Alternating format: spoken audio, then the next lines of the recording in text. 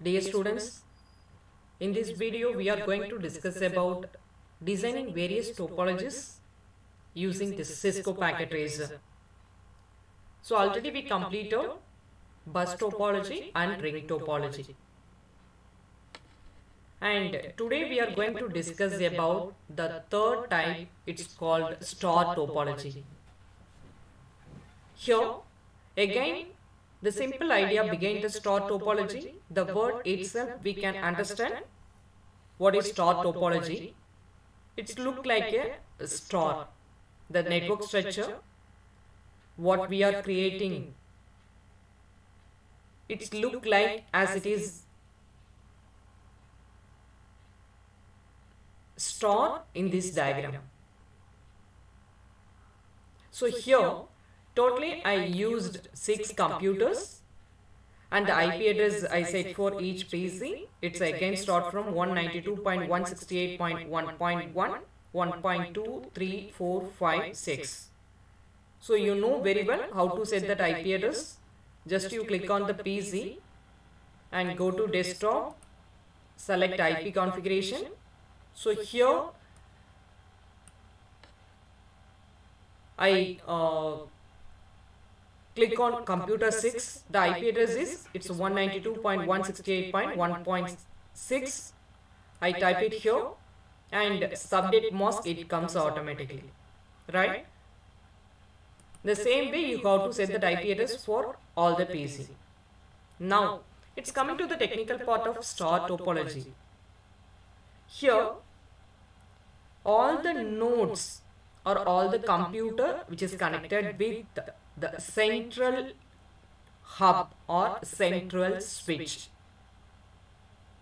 So here in the ring topology each node is connected with the individual switch or individual repeater.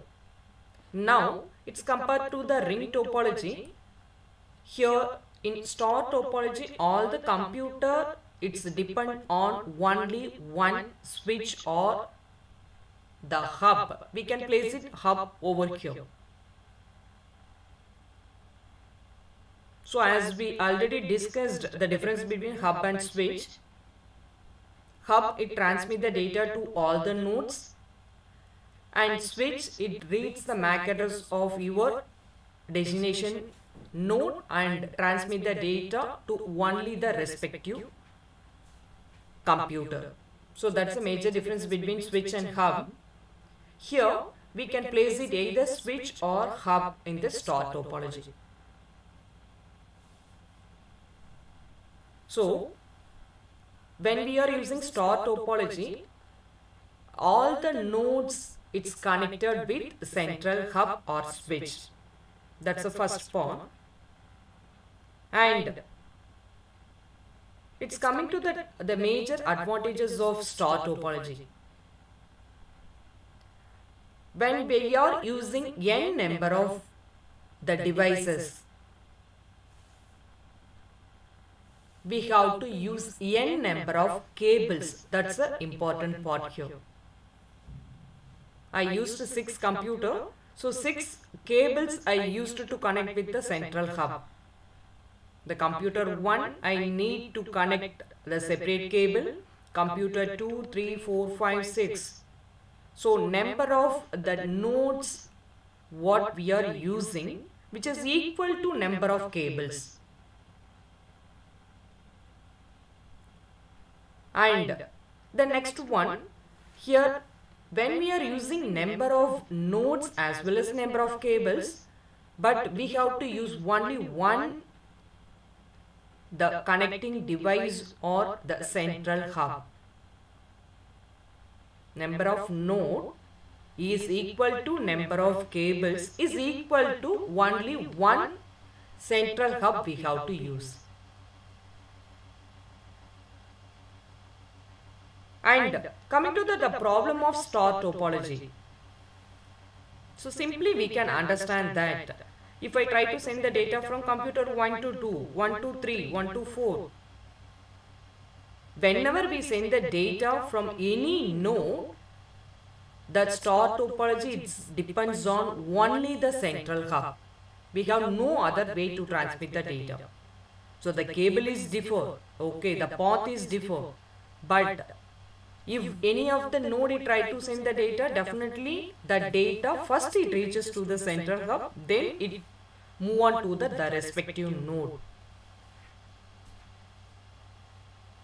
In case if the central hub is failed, it's unable to transmit the data. What will happen? The entire network will collapse and we cannot transmit any data in that network. So this is the backbone, this is the heart of the, the star topology. So we can easily transmit the data. That's one of the advantage. So for example, computer 1 try to send the data to computer 4. It's in straight way, just you reach the switch and it come to computer 4. And even any of the places we can easily transmit the data. That's the advantage. But it's coming to the disadvantage.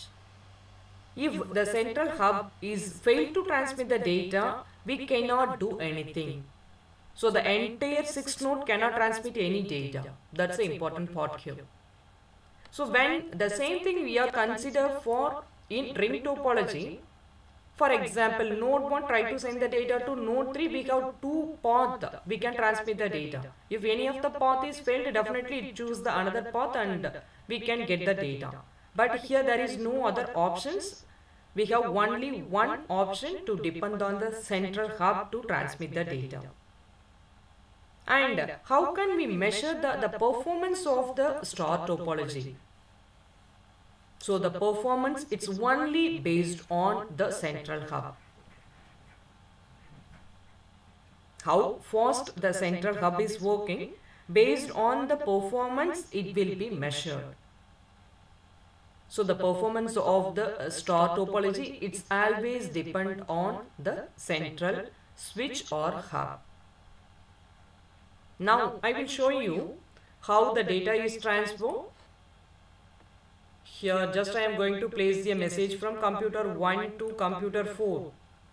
So it shows that in progress.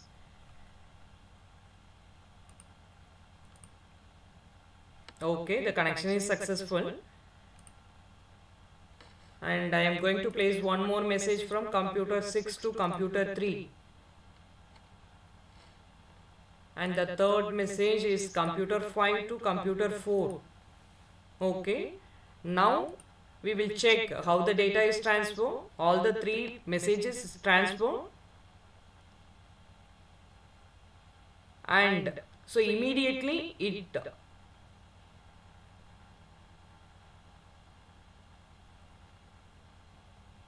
okay here it shows that that first message is successful now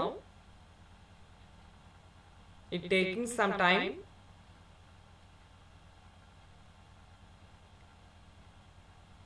Okay just I delete that all the messages.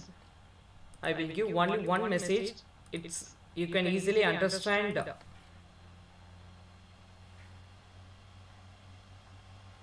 so computer 6 to computer 3 okay Now computer 3 send that acknowledgement to switch. Okay, now it's successful. If I try to send the data, for example, computer 1 to computer 3,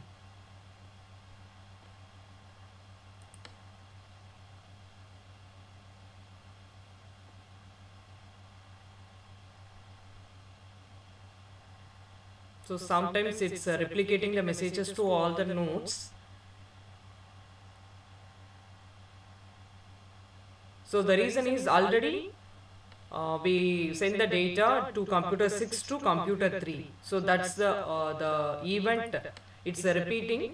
That's one of the reason it's replicating the messages to all the nodes. So first we placing that message from computer 6 to 3, it immediately transmit the data. So that event is over. Then I place the second message from computer 1 to 3. and the same time the previous event is also executing.